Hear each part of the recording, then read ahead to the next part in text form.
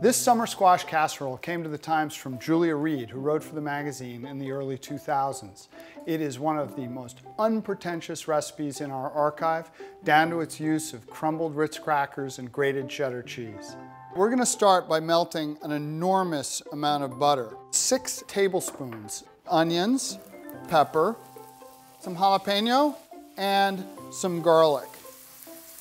This is gonna be the studded stuff in our casserole. The onions are beginning to give off some liquid, which is good. The greens and the reds have gone a little paler. So now we get the guts of the casserole going.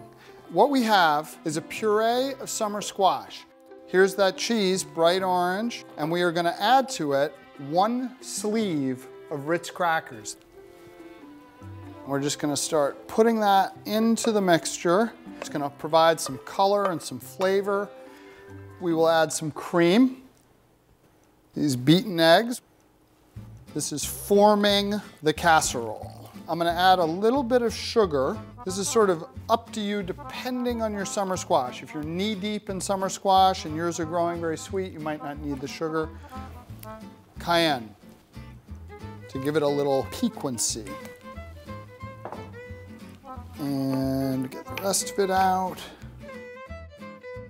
I'll show you a cool trick. We just shake it a couple times and it evens out beautifully. A little bit of salt, a little bit of pepper as well. And now these breadcrumbs. That is ready for the oven. Summer squash casserole, an easy, unpretentious, quick to put together side dish that we hope you'll make part of your cooking lives for many years to come.